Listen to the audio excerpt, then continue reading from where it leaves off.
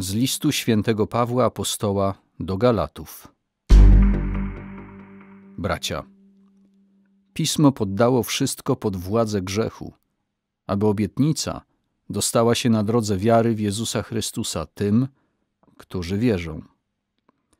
Do czasu przyjścia wiary byliśmy poddani pod straż prawa i trzymani w zamknięciu aż do objawienia się wiary.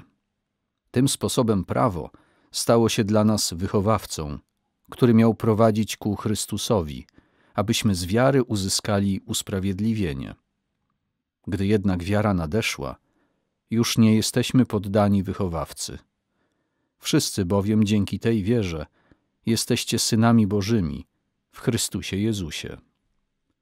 Bo wy wszyscy, którzy zostaliście ochrzczeni w Chrystusie, przyoblekliście się w Chrystusa. Nie ma już Żyda ani poganina, nie ma już niewolnika ani człowieka wolnego, nie ma już mężczyzny ani kobiety. Wszyscy bowiem jesteście kimś jednym w Chrystusie Jezusie. Jeżeli zaś należycie do Chrystusa, to jesteście też potomstwem Abrahama i zgodnie z obietnicą dziedzicami. I to wam jeszcze powiem. Jak długo dziedzic jest nieletni, niczym się nie różni od niewolnika, chociaż jest właścicielem wszystkiego. Aż do czasu określonego przez ojca podlega on opiekunom i rządcom. My również, jak długo byliśmy nieletni, pozostawaliśmy w niewoli żywiołów tego świata.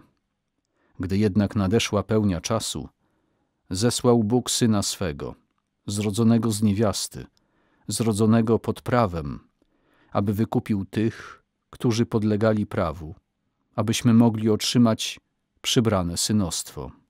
Na dowód tego, że jesteście synami, Bóg wysłał do serc naszych ducha syna swego, który woła Abba Ojcze.